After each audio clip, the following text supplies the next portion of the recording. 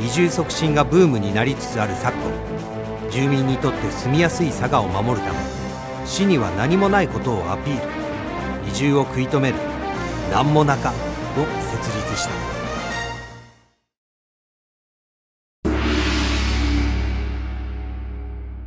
私たち佐賀市に移住を考えてるんです。お聞かせ願いましょほら佐賀市って子育てしながら働きやすいって言うじゃないですか。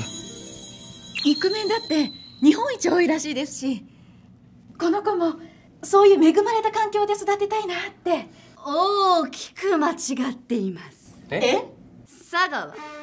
古より武士道を重んじる風土でありますそれを世間ではやれイクメンだのやれ育児休暇だの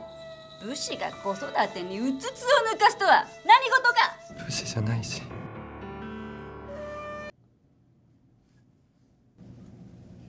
モノノフは国を探し。を守るため市場を捨てて働かねばならんのですでは武士道とは何か葉隠れとは何か佐賀市には子供がのびのび育つ環境がある移住の心配なんもなか佐賀市